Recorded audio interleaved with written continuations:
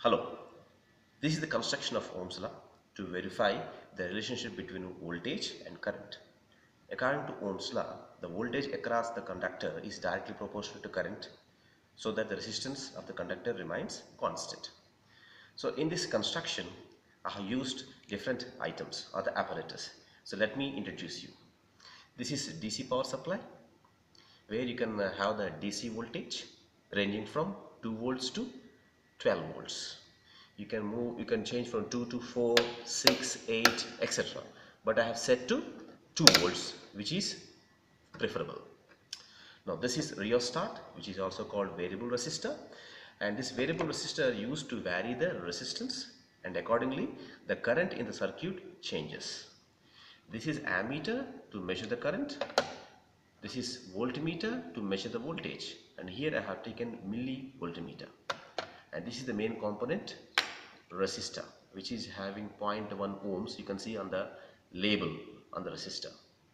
This is one way key which is used for safety purpose in the circuit. Now let me explain you how I have constructed this. If you see the DC battery, you have two terminals, positive uh, red terminal and black terminal. The red terminal is called positive terminal, the black terminal is called negative terminal. So from the negative terminal of the battery, I have taken a wire and it's connected to one end of the rheostat.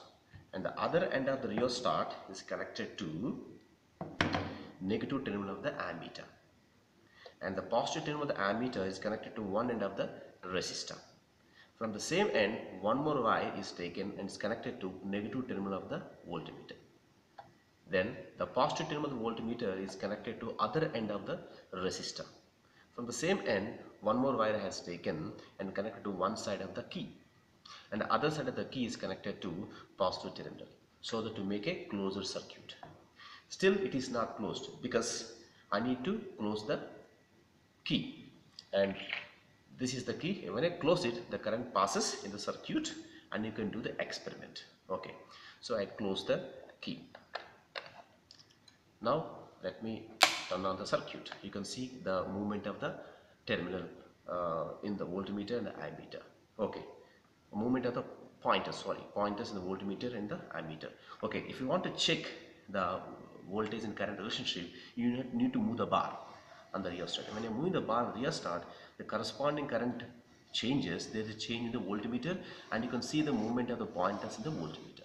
So in this way, you have to take the readings for the for the voltage for the corresponding current. And the condition is, the caution is, you need to take the readings as it is possible because Ohm's law is satisfied for the constant temperature. When the temperature increases, the V is not directly proportional to I. It doesn't obey the Ohm's law. Thank you.